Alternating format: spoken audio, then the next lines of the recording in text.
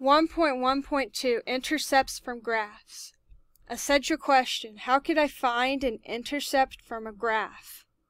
Skills I can find intercepts on a graph and I can identify if an exponential function is a growth or a decay. Identify the characteristics of this graph.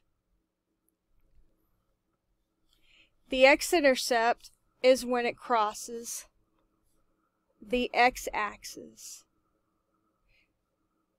It actually never crosses it. It looks like it's about to touch it, but it doesn't actually go through it here.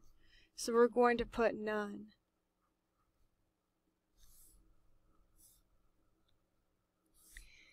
And then for the y-intercept, that's when it crosses the y-axis.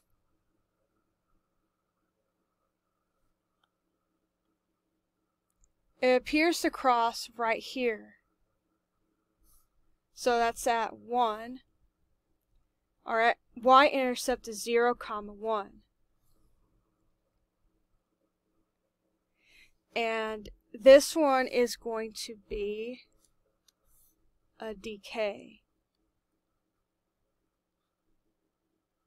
It's exponential decay because let's look at the definition as x gets larger, so it goes to the right, the y value goes closer to the horizontal asymptote. The horizontal asymptote is where the graph looks like it's basically a horizontal line. As x gets bigger and bigger here, the y is going to approach 0. It doesn't actually touch it though.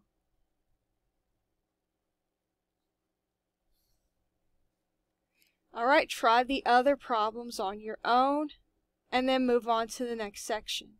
Don't forget to answer the essential question too.